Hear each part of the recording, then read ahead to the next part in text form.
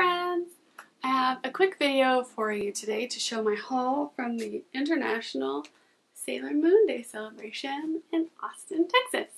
It was super fun. It was held at this place called the Highball and it's um, right next to an Alamo Drafthouse. It's the same place it was uh, last year which was really exciting because I knew where I was going.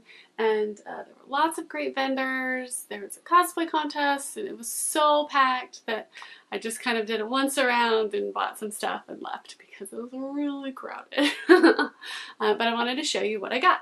So the this shirt I actually got before. Ooh, and uh, it was made by my friend Nina. I talked about in my favorites video um, for July. And of course I wore it and I got lots of compliments and people asked if I got it here and I was sad that I had to point them in another direction. They couldn't get one immediately because it's super cute. Um, but her shop is open now, by the way. So speaking of Sailor Moon, she's got some really great stuff.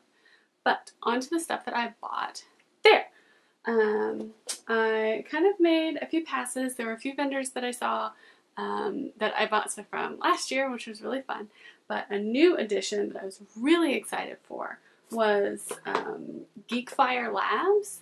Um, I first saw her stuff at Dragon's Lair Comics in Austin, and she makes beauty products, um, lip balms and perfumes and stuff like that, um, with cute, geeky illustrations and names.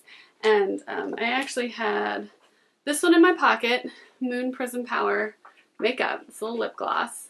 And my other favorite of hers is the Patronus. So the Patronus is white chocolate mint. And uh, Moon Prism Power Makeup is pink frosting cupcake. Um, and I love these so much. Every time I go to Dragon's Lair, I pick up one of her things. And I was really excited to finally meet her. So I grabbed some more. I'm missing another one. Oh, oh, I hope I didn't leave it. I took all these on vacation with us last weekend. Um, but there was a Doctor Who English toffee one that, um, oh, I'm dropping them. Um, funny story, I was actually driving around with Andy and I was like, do you smell bread? You smell like coffee cake? And like it was driving me crazy and it was my lip balm because it smells so good and smells like toffee and I love it. So the Doctor Who one is really great. Um, also, she has Droid Please whoop, with BB-8 and this one is Blood Orange. Really great. Um, I haven't tried these yet. Uh, she's got a winky face that is bubblegum. So cute and um, she had a Soot Sprite Sprinkles that tastes like sugar stars. Ooh, and um, a Crescent Moon Kitty that is Blackberry Cream. Love it. Um, so it's really cute. And then she had a couple of stickers that I got too. Love it. Oh, I was really excited to finally meet her. Um, and yeah, it's really exciting. So I also found a couple of pins.